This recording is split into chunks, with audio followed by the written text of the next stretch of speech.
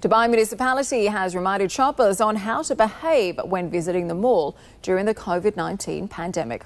In a post on social media, it's advised people to make a list of what they need before going out and to allow 5 to 15 minutes before getting their temperature checked.